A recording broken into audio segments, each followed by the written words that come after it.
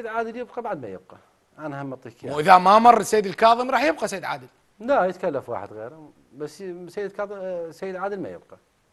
ما يبقى. لك سيد عادل ما يبقى. صعب صعب جدا ما يبقى ما يصير ما يصير لكن الكاظم يمشي لو ما يمشي. طيب من من سابق الأوان الحديث عن هذا والله أنا. أنا راح ألخص اللي فهمته.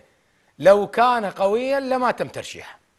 ولا ولا ما ولا ولم يتم تكليفه. من من من الخلاصة أيد لي. غل قل لي غلطان لو قل لي صحيح. شوف لو قل لي أنا أنا اعتقد أعتقد اليوم السيد الكاظمي إذا إيه. قدر يشتغل بطريقة صحيحة إيه. هاي اذا وإذا تدري أداة شرط غير جازمة يعني. إذا قدر يشتغل بشكل صحيح ويستخدم وسائل المعروفة في إدارة الملفات أعتقد يستطيع أن يمضي في مجلس النواب. وإلى الآن عنده فرصة جيدة.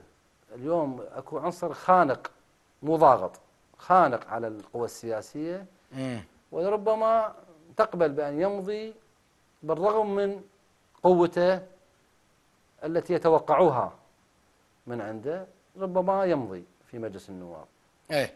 وإذا لم يستطع أن يستخدم هذه الأدوات وأن يعمل بطريقة محنكة سياسية محنكة في إدارة ملف التكليف أعتقد سيلحق بمن سبقه؟